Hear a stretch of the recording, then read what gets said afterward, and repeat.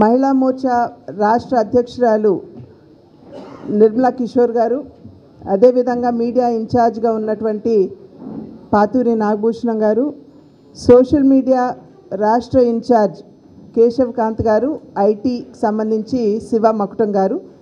అదేవిధంగా ఢిల్లీ నుండి ప్రత్యేకించి ఈనాడు ట్రైనింగ్ ఇవ్వడానికి వచ్చినటువంటి పునీత్ సోదరులు పునీత్ గారికి అదేవిధంగా పాత్రికేయ మిత్రులందరికీ కూడా పేరు పేరున నా నమస్కారాలు నేను తెలియజేస్తున్నాను. ప్రధానంగా ఇవాళ పునీత్ గారు ఇవాళ శంఖానాదం అనేటువంటి కార్యక్రమం కింద రాష్ట్రంలో ఉన్నటువంటి సోషల్ మీడియాకి సంబంధించినటువంటి వారందరికీ కూడా ట్రైనింగ్ ఇవ్వాలి అనేటువంటి ఆలోచనతోటి వారిని ఇక్కడికి ఆహ్వానించడం జరిగింది. మనందరికీ తెలుసు ఇంకొక ఏడెనిమిది నెలల్లో మనం ఎన్నికలకి వెళ్ళబోతున్నాం. ఆ సందర్భంలో ప్రస్తుత సమయంలో సోషల్ మీడియాకు ఉన్నటువంటి ప్రాధాన్యత మనందరికీ తెలుసు. ఇవాళ ప్రజల వద్దకి సమాచారాన్ని చేరవేయాలన్నా చాలా వరకు కూడా ప్రజల యొక్క ఆలోచనని ప్రభావితం చేసే మాధ్యమం ఏదన్నా ఉన్నది అంటే ఇవాళ సోషల్ మీడియా. అంటే సోషల్ మీడియాలో అటు పాజిటివ్ నెగిటివ్ రెండు ఉంటాయి. కానీ భారతీయ జనతా పార్టీ ఎప్పుడు కూడా నిర్మాణాత్మకంగా ఆలోచించేటువంటి పార్టీ కనుక సోషల్ మీడియా ద్వారా నిర్మాణాత్మకంగా మనం ఎలా ప్రజల వద్దకి చేరాలి అనేటువంటి ఆలోచనతోటి ఇవాళ కార్యక్రమాన్ని చేపట్టడం జరిగింది. అంటే ఇది కేవలం రాష్ట్ర స్థాయికి సంబంధించి కాదు బట్ జిల్లా మండల స్థాయిలో ఉన్నటువంటి సోషల్ మీడియా కమిటీ ఏదైతే ఉందో వారందరికీ కూడా ట్రైనింగ్ ఇస్తూ ఏ విధంగా ప్రజలకి భారతీయ జనతా పార్టీని చేరువ చేయాలి అనేటువంటి అంశం మీద వారందరికీ కూడా ట్రైనింగ్ ఇవ్వడం జరుగుతుంది. గడిచిన తొమ్మిది సంవత్సరాలు తొమ్మిదిన్నర సంవత్సరాల కాలంలో భారతీయ జనతా పార్టీ అధికారంలోకి వచ్చిన తర్వాత నరేంద్ర మోడీ గారు ప్రధాని అయిన తర్వాత పేదవాడిని కేంద్ర బిందువు చేసుకునే అనేక మంచి కార్యక్రమాలని సెంట్రల్ గవర్నమెంట్ అంటే కేంద్ర ప్రభుత్వం భారతీయ జనతా పార్టీ నాయకత్వంలో ప్రవేశపెట్టడం జరిగింది. వాటన్నిటినీ కూడా ఏ విధంగా ప్రజల వద్దకి చేరువ చేయాలి అనేటువంటి విషయం మీద ఇవాళ శంఖానాదం. అంటే ఒక రకంగా ఎన్నికలకి సమర శంఖాన్ని పూరిస్తున్నటువంటి సందర్భంలో ఈ కార్యక్రమానికి శంఖానాదం అని చెప్పి నామకరణం చేయటం జరిగింది. ఇందాక నేను చెప్పినట్టుగా దేశంలో ఉన్నటువంటి పేదవాడిని కేంద్ర బిందువు చేసుకుని అనేక కార్యక్రమాలు ప్రవేశపెట్టాం. నిన్న మొన్న కూడా మీరు చూసినట్లయితే నిన్న రక్షాబంధన్ మరి నరేంద్ర మోడీ గారు ప్రధాని అయిన నాటి నుండి కూడా మహిళలకి ఒక పెద్ద దిక్కుగా ఒక అన్నగా ఒక సోదరుడిగా ఒక తండ్రిగా వారు అనేక మంచి కార్యక్రమాలు మహిళల కోసం ప్రవేశపెట్టడం జరిగింది.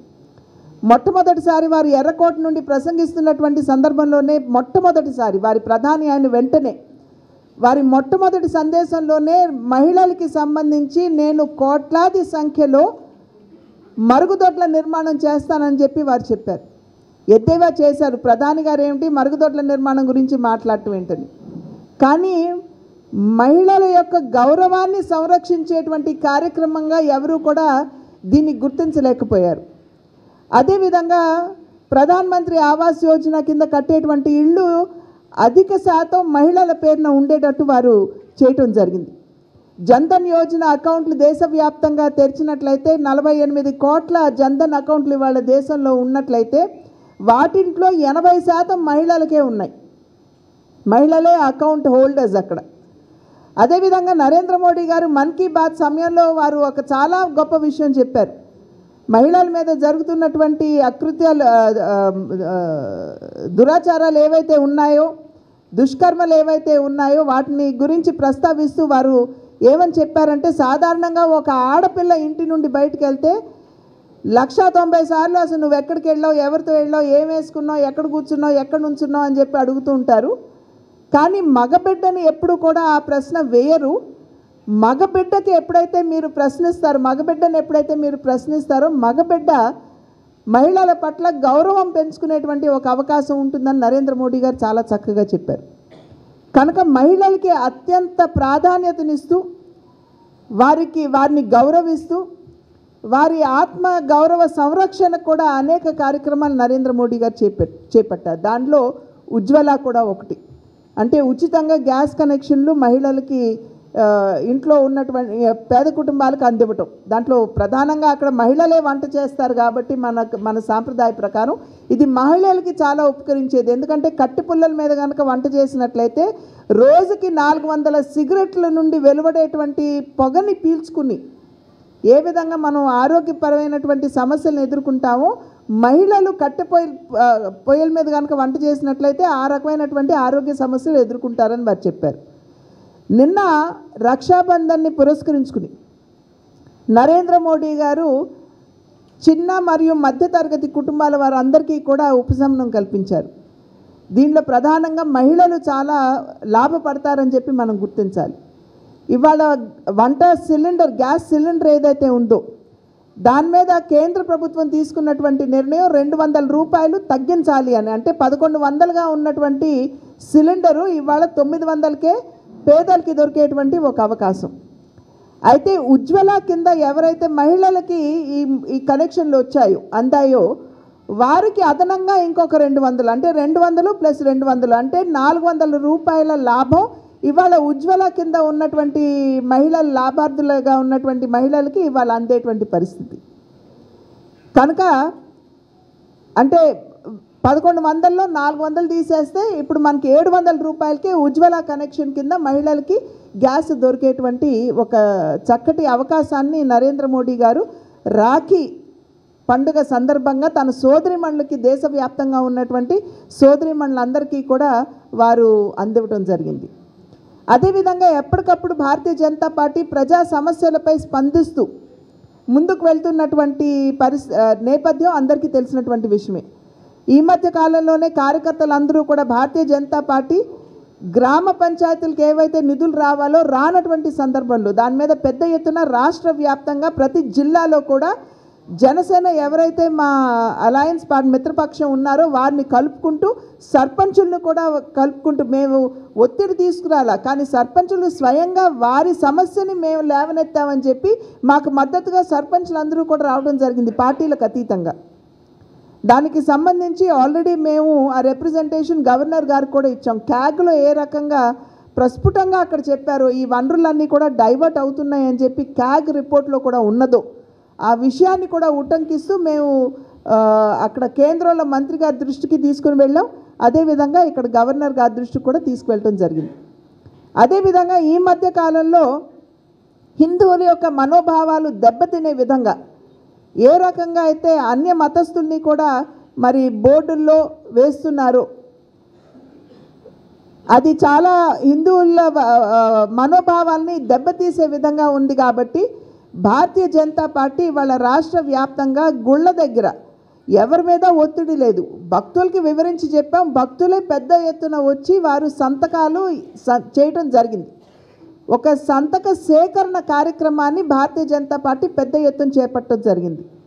హిందువుల మనోభావాలు దెబ్బతిన్నటువంటి సందర్భంలో అన్య మతస్థుల్ని మనం బోర్డుల్లో కానీ లేకపోతే ట్రస్టీలుగా కానీ మనం నియామకం చేయకూడదు అనేటువంటి ఒక ఆలోచనతోటి భక్తులతోటి మాట్లాడినప్పుడు ఎవరి మీద ఒత్తిడి చేయకపోయినా పెద్ద ఎత్తున భక్తులందరూ కూడా ముందుకు వచ్చి సంతకం చేయటం జరిగింది. ఆ సంతక సేకరణ నిన్నటితోటి ముగిసింది. ఇవాళ మా దగ్గరికి అవన్నీ కూడా వస్తాయి. ఆ తర్వాత రాబోయే కార్యాచరణ ఎలా ఉంటుందనేది మీ అందరికీ కూడా తర్వాత తెలియజేస్తాం.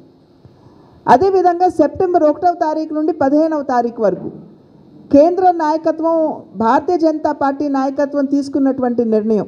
ఏదైతే ఏక్ భారత్ శ్రేష్ఠ భారత్ అని భారతీయ జనతా పార్టీ విశ్వసిస్తుందో అంటే యావత్ భారతదేశం ఒకటే అనేటువంటి భావంతో ఎప్పుడు భారతీయ జనతా పార్టీ ముందుకు వెళ్తున్నటువంటి సందర్భంలో నా భూమి నా దేశం అనేటువంటి కార్యక్రమానికి శ్రీకారం భారతీయ జనతా పార్టీ చుట్టం జరిగింది. అంటే ఇవాళ గ్రామాలకు వెళ్ళి ప్రతి గ్రామంలో ఉన్నటువంటి ప్రతి ఇంటి దగ్గర కూడా ఇవాళ ఒక చిటికెడు మట్టి ప్రతి ఇంటి నుండి కూడా సేకరించడం భారతీయ జనతా పార్టీ కార్యకర్తలు చేస్తారు. ఇది ఒకటవ తారీఖు నుండి పదిహేనవ తారీఖు వరకు కూడా గ్రామ స్థాయిలో ఈ కార్యక్రమం నిర్వహించబడుతుంది. పట్టణ ప్రాంతాల్లో మట్టి ఉండదు కాబట్టి ప్రతి ఇంటి దగ్గర నుండి ఒక చిటికెడు బియ్యం బియ్యం గింజలు వాటిని సేకరించడం జరుగుతుంది. వాటన్నిటిని సేకరించిన తర్వాత ఈ కార్యక్రమాన్ని నాలుగు ఫేసుల్లో నాలుగు దశల్లో ఈ కార్యక్రమాన్ని చేసుకుంటాం. మొట్టమొదటి దశ పదిహే ఒకటి సెప్టెంబర్ నుండి పది పదిహేను సెప్టెంబర్ వరకు ఉన్నట్లయితే పదిహేడు సెప్టెంబర్ నుండి సేవా కార్యక్రమాలు ఉంటాయి కాబట్టి రెండవ తారీఖు వరకు గాంధీ జయంతి వరకు కూడా సేవా కార్యక్రమాలు ఉంటాయి కాబట్టి రెండవ దశ మూడవ మూడు అక్టోబర్ నుండి పదకొండు అక్టోబర్ వరకు కూడా ఈ కార్యక్రమాన్ని తిరిగి రెండవ దశ నిర్వహించడం జరుగుతుంది. ఈ మట్టినంతా కూడా దేశవ్యాప్తంగా సేకరించి చివరి చివరి దశలో దీన్ని తీసుకుని వెళ్ళి ఢిల్లీలో ఒక ప్రాంతంలో ఈ మట్టినంతా పోసి అక్కడ ఒక అమృత వన వనాన్ని అక్కడ తయారు చేయాలి అని చెప్పి భారతీయ జనతా పార్టీ నిర్ణయించడం జరిగింది. అంటే దేశవ్యాప్తంగా వచ్చినటువంటి మట్టిని తీసుకొని వెళ్ళి అక్కడ పోసినట్లయితే ఖచ్చితంగా భారతదేశం అంతా కూడా ఒకటే అనేటువంటి భావన కేవలం మన తరం వారికి కాదు ప్రత్యేకించి భావితరాల వారికి ఆ స్ఫురణ ఉండాలి అనేటువంటి ఆలోచనతోటి ఈ కార్యక్రమాన్ని చేపట్టడం జరిగింది. కనుక భారతీయ జనతా పార్టీ కార్యకర్తలు అందరూ సన్నద్ధమయ్యారు. ఒకటో తారీఖు నుండి పదిహేను రోజుల పాటు ఈ కార్యక్రమాన్ని వారు దిగ్విజయంగా చేస్తారు. ఆ తర్వాత మండల స్థాయి నుండి ఏ రకంగా మట్టిని మనం ఢిల్లీకి పంపించాలో అది తర్వాత దశలో రెండవ దశలో అందరికీ కూడా తెలియజేయటం జరుగుతుంది. కాబట్టి ఇవాళ ప్రత్యేకించి ఇవాళ ఈ శంఖానాదం అనేటువంటి కార్యక్రమానికి పునీత్ గారు ఢిల్లీ నుండి వచ్చారు. వారు సోషల్ మీడియాలో వారు మంచి ఆరితేరినటువంటి వారు. కనుక వారు ఇవాళ రాష్ట్ర స్థాయి జిల్లా స్థాయి వారికి ఇవాళ ఇక్కడ ట్రైనింగ్ ఉంటుంది. ఆ తర్వాత జిల్లాలో మేము మండల స్థాయిలో ఉన్నటువంటి వారికి మా ట్రైనింగ్ మేము ఇస్తాం. నమస్కారం.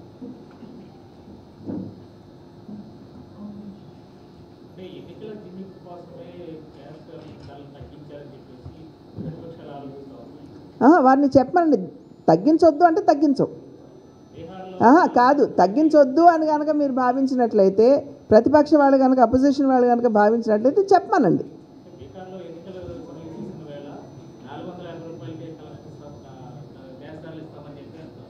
కాదండి. నేను నేను వారికి వేసే ప్రశ్న స్ట్రెయిట్గా ఉన్నది. తగ్గించొద్దా? ముందు మీరు దానికి సమాధానం చెప్పండి. అది ఎన్నికల జిమ్మిక్కో ఏ- కాదో అది పక్కన పెడదాం. తగ్గించాలా వద్దా? దానికి సమాధానం చెప్తే చాలు.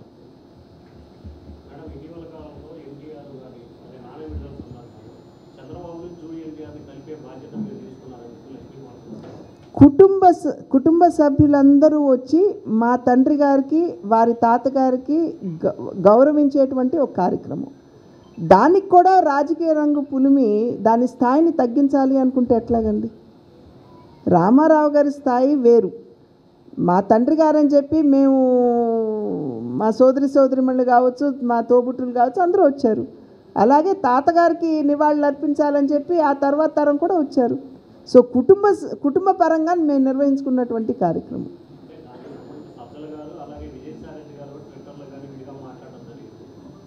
వారు వారు వారు చేసినటువంటి కామెంట్స్ మీద స్పందించవలసినటువంటి అవసరం నాకు లేదండి. కాకపోతే సజ్జల్ గారు రాష్ట్రపతి భవన్కి రాజకీయ రంగు పులివారు. అక్కడ రాజకీయపరమైనటువంటి కార్యక్రమం చేస్తారు రాష్ట్రపతి హోదాన్ని వారు కించపరుస్తూ వారు మాట్లాడారు. అది సరికాదు.